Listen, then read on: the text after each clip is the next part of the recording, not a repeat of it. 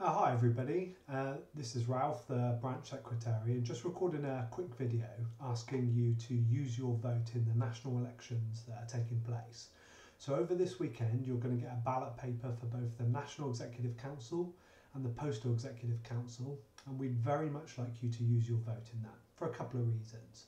I mean first up and straight from the bat, one of our own, Tony Bouch, my predecessor as branch secretary and formerly a distribution driver and a postman out of West Park Delivery Office, one of our own, is standing for re-election in these elections and it's really, really important that his own branch gets behind him.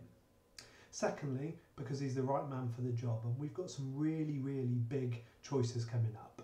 Um, the union is facing internal changes. We're having a redesign project, and it's really important to us that the union remains a member and unit rep focused industrial union and we want Tony to be having a voice at the top table for that. And when it comes to that workplace structure, Tony is fighting for the right kind of Royal Mail. There's going to be massive, massive changes to our working lives, whether you work for Royal Mail, the Post Office, Quadrant, multi-channel customer experience, the MDEC, and we want to be having a say in those things. So it's really, really important for us to both get Tony elected and the right people.